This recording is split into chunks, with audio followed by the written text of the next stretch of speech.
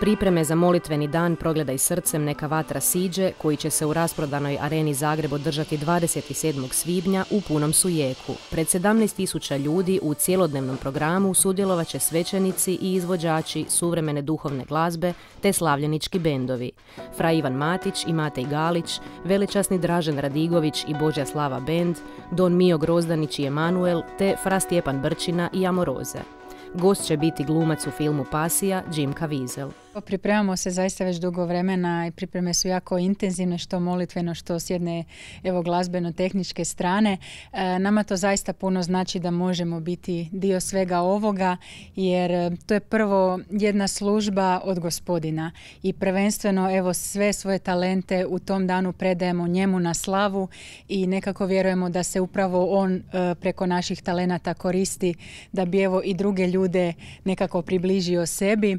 jako se radujemo, jako smo uzbuđene i evo, prepustili smo sve nekako gospodinu u ruke, sve ono što nije do nas i vjerujemo da će on to sve voditi i da će to zaista biti jedna prekrasna, prekrasna obnova. Vatra je išla prije 2000 godina, mi ćemo još malo sad to potpaliti da ju možda sjete i oni koji e, koji možda u svom životu još nisu iskusili e, tu silu Duha Svetoga koju, koju im želimo zapravo i ovim događajem na neki način e, ponovo posvijestiti da ju imaju, da ju imamo na raspolaganju, da je to Božja ostavština koju je ostavio nama na zemlji.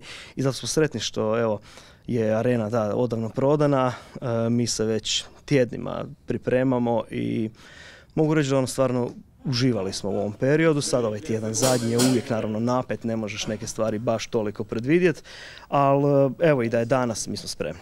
Duh je već sišao i u nama je, ali mi se samo nadamo da će se rasplamsati u areni i e, vjerujem da koliko imamo količini pripreme i pogotovo ove godine još imamo jednu zajedničku, jedan zajednički taj dio programa sa Emanuelom, što nam je posebno drago. Ovaj, ja vjerujem stvarno da će to biti nešto posebno i pozivam ljude evo stvarno do tad nek se pomole još dodatno malo za nas, da nam svima bude to ovaj, lakše, ugodnije i da svi zajedno evo zaista tamo budemo i slavimo našeg Isusa. Ovogodišnje sedmo izdanje Progledaj srcem nije koncert, već veliki molitveni dan koji će se održati u oči pedesetnice. Srca su nam još uvijek ispunjena prošlogodišnjim duhovno-glazbenim spektaklom na Maksimirskom stadionu, koji je okupio 55 tisuća ljudi, a upisan je u povijest kao open air koncert desetljeća u Hrvatskoj i najveće duhovsko bdijenje u Europi to iskustvo, evo stvarno uvijek kažemo da nikad nećemo zaboraviti. Znači to je baš bilo nešto nadnaravno i ono, onako kako može samo gospodin. I zaista nas nosi, nose nas ta mnogobrojna svjedočanstva koja smo dobili od ljudi i evo stvarno uvijek kažemo hvala vam svima na svakoj lijepoj riječi, ali evo to stvarno nismo bili mi, nego gospodin i nadamo se da će se opet, ne, ne nadamo se, vjerujemo se da će gospodin se opet kroz svih nas proslaviti.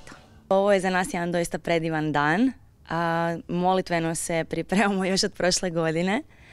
A, jako puno smo proba imali, još uvijek imamo. A, jako nam je napeto sa rasporedima, ali evo doista gospodin je s nama i stvarno nam mi će sve prepreke, a toliko Bože ljubavi se izljeva na probama i na zajedničkim molitvama da evo ne mogu opisati.